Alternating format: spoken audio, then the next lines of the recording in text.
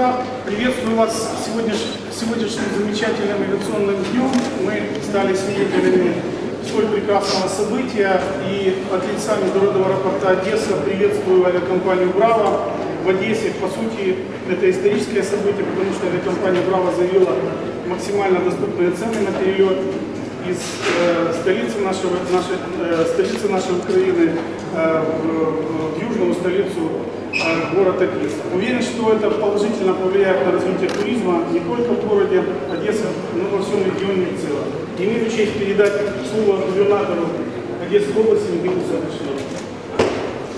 Да, приветствую вас всех. Э, Приветствую здание аэропорта, которое нужно потом превращать в музей, э, как было, как было ужасно летать в старое плохое время.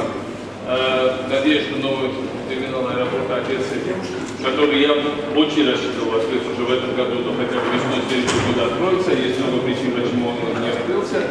И надеюсь, что также мы будет новая полоса, Министерство инфраструктуры и правительство Украины наконец-то примут решение строить, ремонтировать, восстанавливать или строить новую полосу Одесского аэропорта. Потому что если эту полосу не отремонтировать, я всех предупреждаю, Одесский аэропорт может в любой момент остановиться. Я не знаю, что они спят в Киеве или вообще плевать им на это, но я, что потом не говорю, что я, я не предупредил. Одесский аэропорт может остановиться в связи с плохой полосой.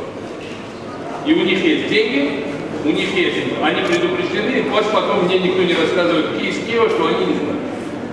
Но пока он не остановился, большая хорошая новость. Значит, э, э, до сколько месяцев заранее заказывают билеты, то рейс стоит 499 гривен.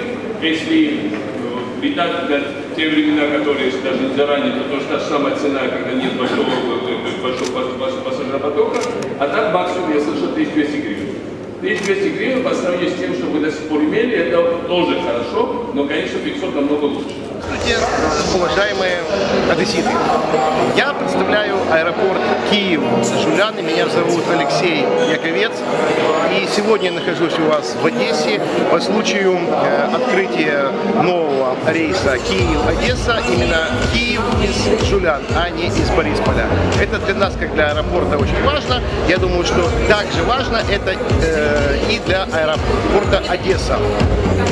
Э, Поэтому э, надеемся, что э, авиакомпания Браво будет выдерживать свои обещания по поводу стоимости э, авиабилетов и большое количество одесситов, киевлян, гостей наших городов смогут воспользоваться более бюджетным сказать, предложением со стороны именно этой компании.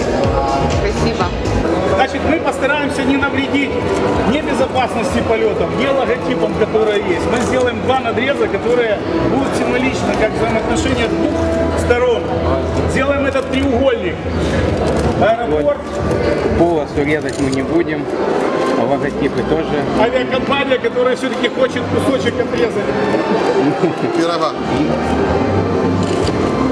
И есть пассажиры, которые находятся на этом